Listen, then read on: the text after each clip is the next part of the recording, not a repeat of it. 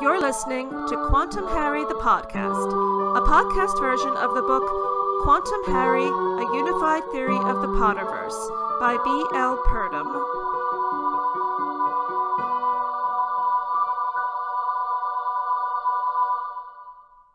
Episode 33 The Inverted Tower of Secrets. Last time, I finished examining the cards in the Tarot Major Arcana, whose symbolism can help to illuminate various elements and plot points of the first Harry Potter book.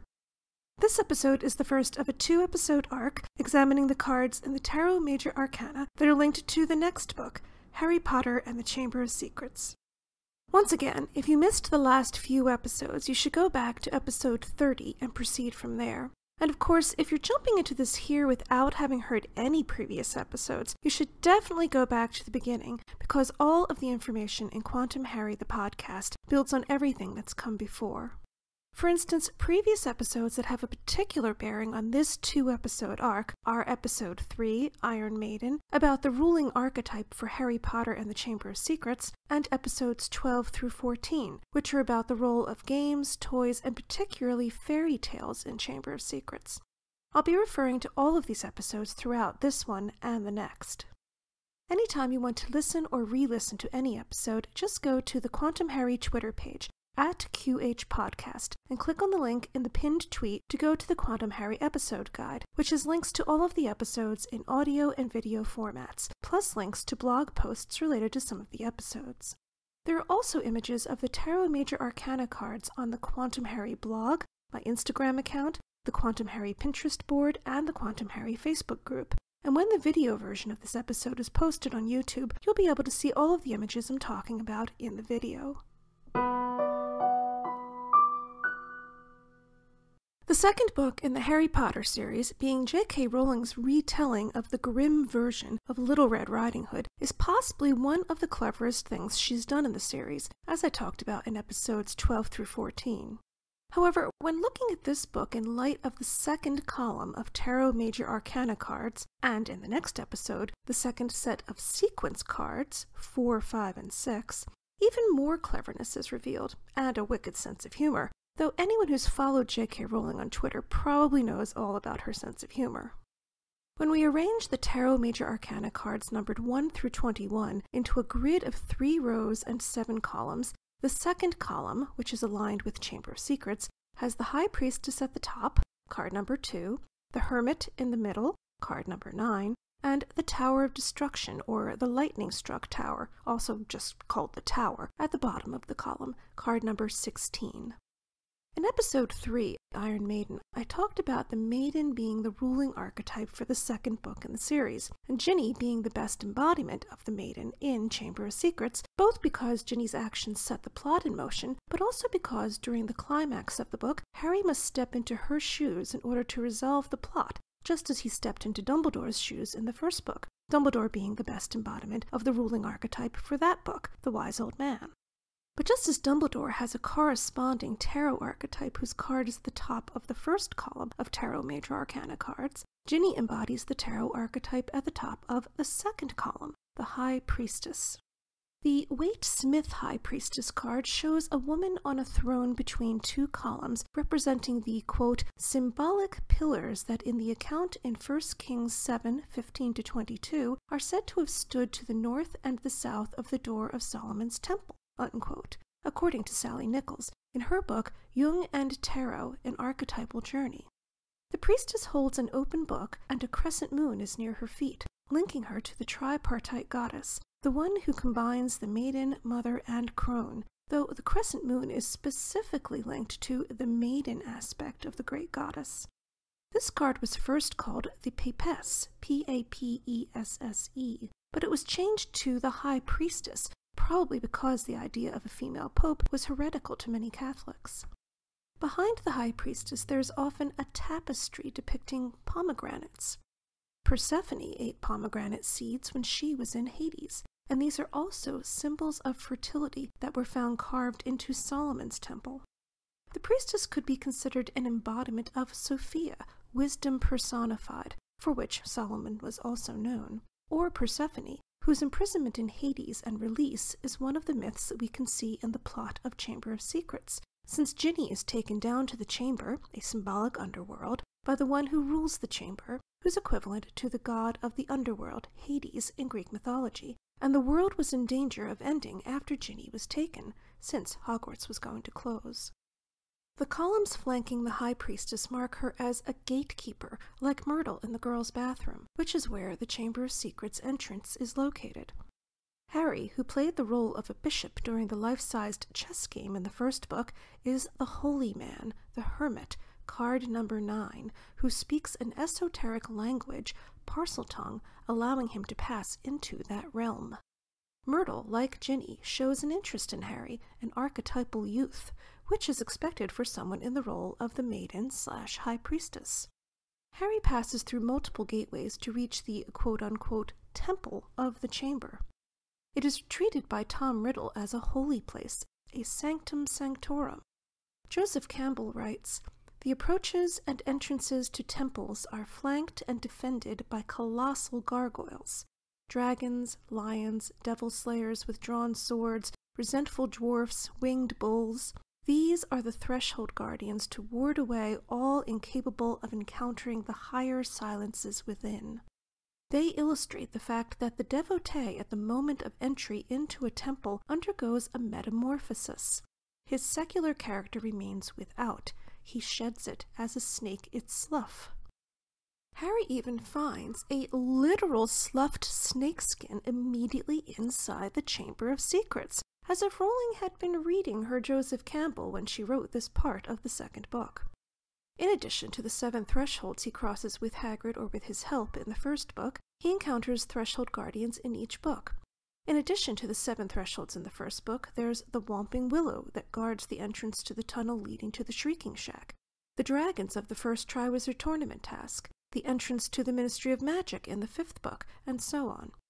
Each one is similar to what Campbell writes about, but is also subtly different. The High Priestess on the card holds a book on her lap, and Ginny's relationship with a book is the impetus for the plot of Chamber of Secrets. The book on the card is supposedly the Torah, and in Chamber of Secrets, Harry has his symbolic confirmation or bar mitzvah, his spiritual coming of age, which I talk about in episode 13, Deus Ex Machina.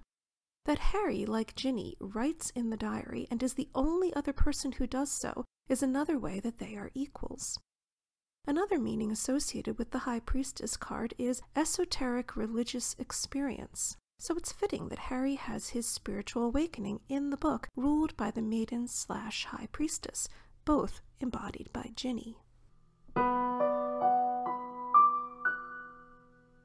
As I mentioned in episode 30, Harry and Tarot, each Tarot Major Arcana card has at least one other card linked to it numerically.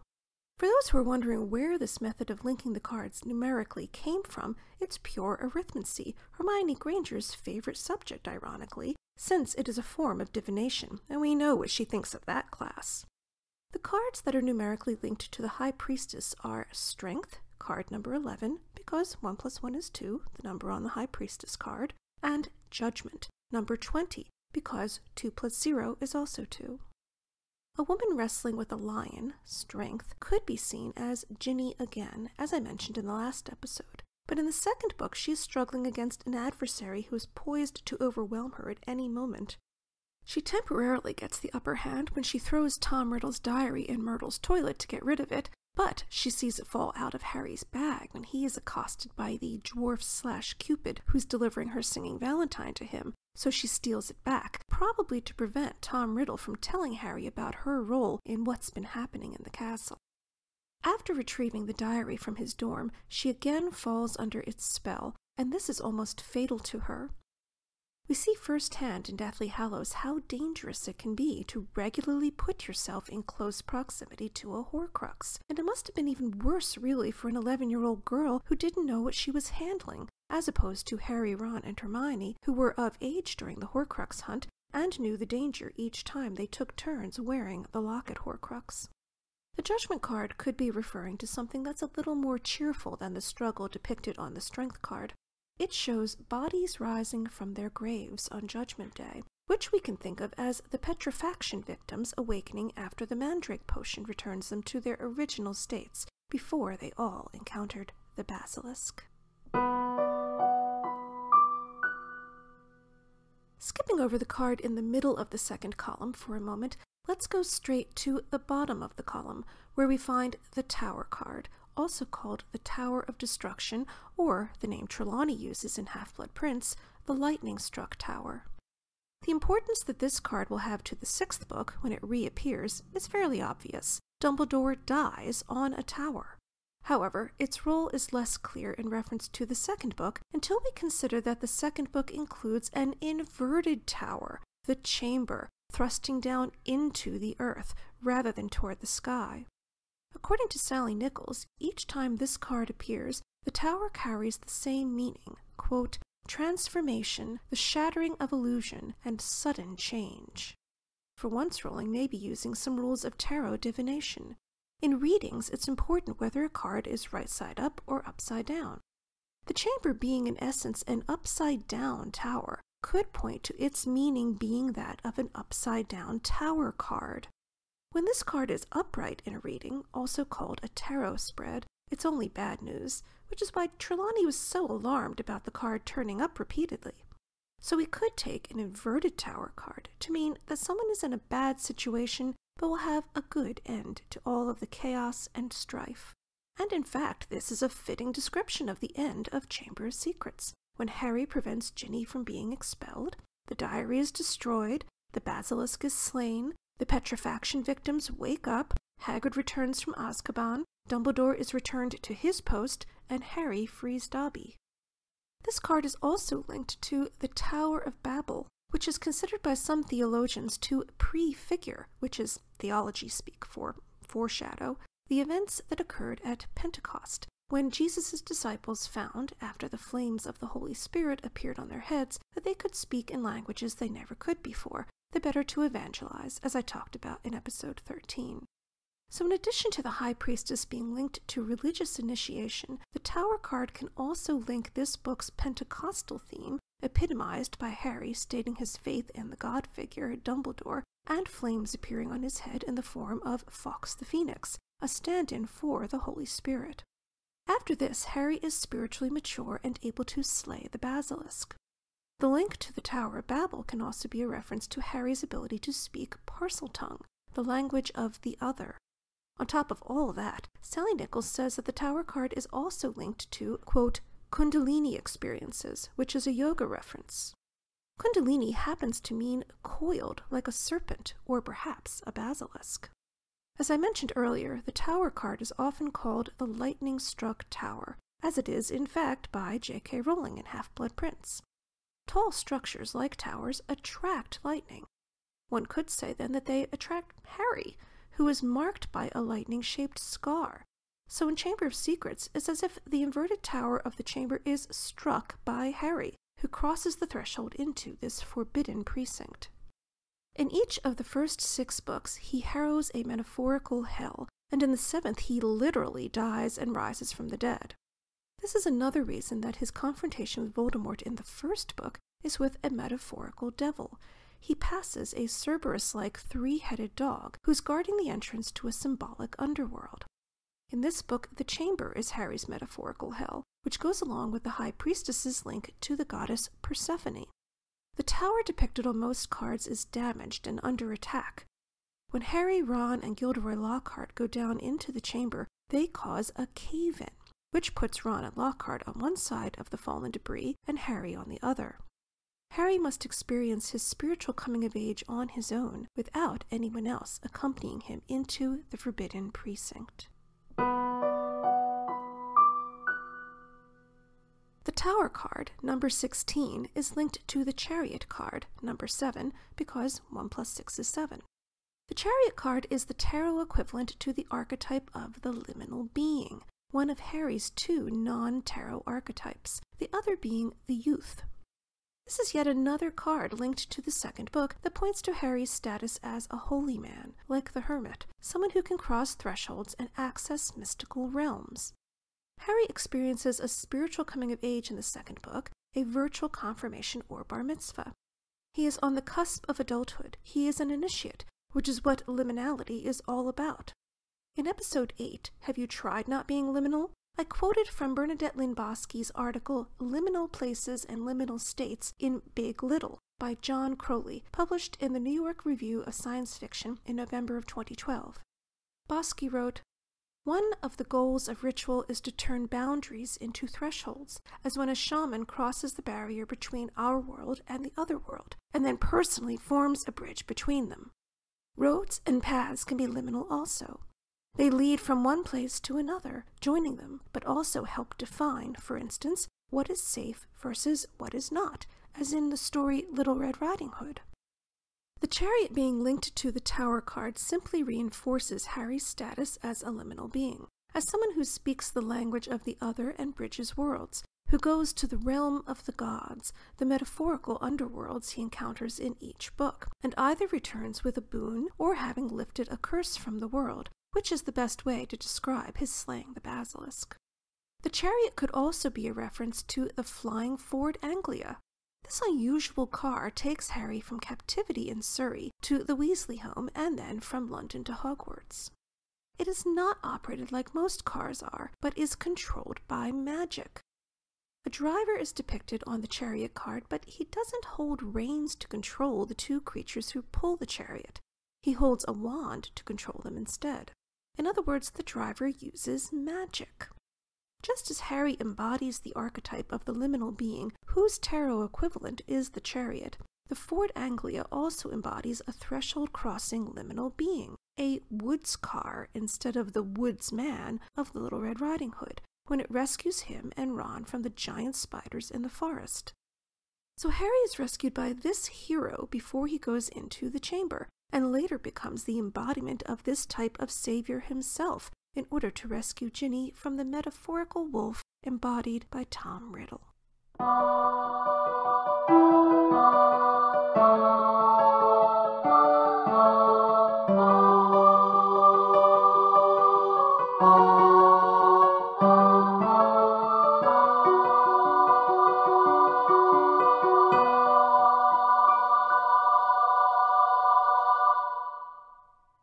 Returning to the center of the second column, between the High Priestess and the Tower, we find the Hermit. Harry is in multiple tarot roles in this book, but all of these roles are religious figures in some way. The third religious figure after the Hermit and the Chariot is one of the three sequence cards for the second book, which I'll talk about in the next episode. Most hermit cards show an old man with a beard wearing a hooded gray cloak, which is sometimes described as an invisibility cloak. The hermit stands in a bleak, sometimes snowy landscape, holding a staff, but whether the staff is a walking stick or a wizard's staff is unclear, and he has a glowing lantern that sometimes has a Star of David on it. Hermits are by their nature shut away from the rest of human society. Harry begins the second book in captivity, unable to leave his room or to access his magic books and equipment. The hermit on the card is not shut away, though, as you would expect a hermit to be. On the card, he's a wandering mendicant, and in fact, Harry is soon on the move, in the Weasleys' flying car, their chariot, in other words. The lantern with the Star of David could also be yet another reference to Harry's spiritual enlightenment or coming of age. The card linked to the Hermit card, number 9, is the Moon card, number 18, because 1 plus 8 is 9. The moon card has some very interesting symbols on it in relation to this book. A very typical moon card shows two towers looming in the distance a dog and a wolf that seem to be baying at the moon, and a crab or a lobster like creature is emerging from some water in the foreground. This is a connection to the astrological sign of Cancer, the crab. Those born under this sign are also called moon children. A crescent moon is on the High Priestess card as well, an aspect of the three faced goddess, specifically the maiden in the Maiden Mother Crone trio. But the creature in the water on the moon card could represent two fearsome creatures in Chamber of Secrets, one of whom fears the other the basilisk and Aragog, the giant spider. As I talked about in episode 14, The Devil's Game, there is a trip into a forest primeval in the second book one of the many reenactments of the fairy tale of Little Red Riding Hood in Chamber of Secrets. when Harry and Ron follow the spiders into the forest and meet Aragog, nearly becoming a tasty snack for him and his family. Such a trip is easily linked to the moon, which represents the unconscious mind. The moon is a bit like the flip side of the hermit's lantern. The hermit pursues conscious enlightenment, but the moon is tied to unconscious enlightenment and intuition, which is also linked to the high priestess. Both have their place in the second book. The moon is linked to memory as well. Sally Nichols writes about, quote, a legend which tells that each night Lady Moon gathers unto herself all the discarded and forgotten dreams of mankind. These she stores in a cup till dawn.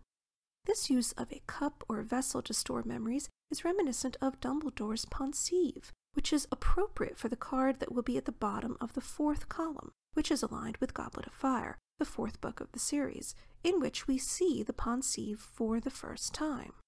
Memories are also important in the second book, or rather, a lack of memories, which is what Gilderoy Lockhart's victims suffer after he learns how a variety of talented witches and wizards achieved the accomplishments Lockhart now claims.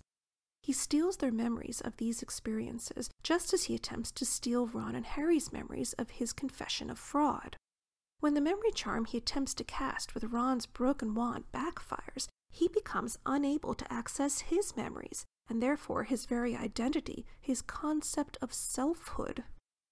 In terms of the tarot story, the moon card also represents the dark night of the soul, the bleakest moment of the hero's saga. In Chamber of Secrets, Harry has never felt worse in his life, so far, than when he and the other students are informed that Ginny has been taken into the chamber. The victim is no longer tangential to him, like Colin Creevey and Justin Finch Fletchley, nor is the victim's ailment something curable, like petrifaction, which is the situation one of his best friends, Hermione, is in. Now Ginny, his best friend's sister, is lost, it seems. He literally feels like he has nothing to lose by trying to save her. In the first book, Harry as Justice mediates between Dumbledore the magician and the Philosopher's Stone on the one hand, and the servant of the devil, Quirrell, and embodiment of the devil, Voldemort, on the other.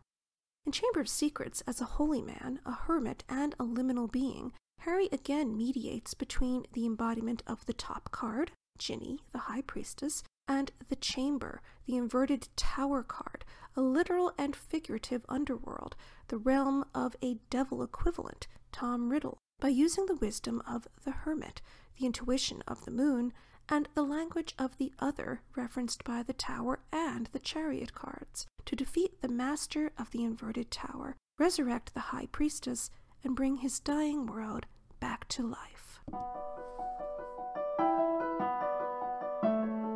You've been listening to Quantum Harry the podcast, a podcast version of the book Quantum Harry: A Unified Theory of the Potterverse by B. L. Purdom.